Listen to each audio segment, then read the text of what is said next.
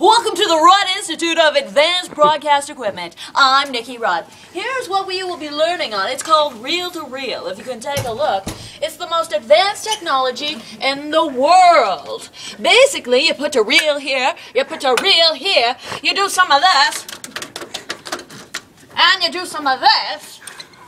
Wait a minute. Could you teach me how to use this modern equipment? But uh, of course, that's what we do at the Rudd Institute. Does it take like four years? It takes just two. This is an associate's degree, two years and $20,000. I teach you how to use this so you can be advanced in the broadcast technology field. I'm enrolling at Rudd. so silly.